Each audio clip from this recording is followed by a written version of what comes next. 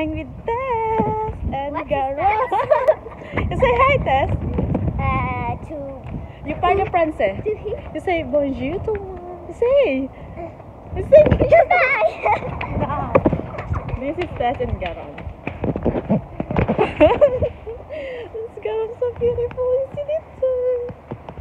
Yeah, guys. We are in with the girls.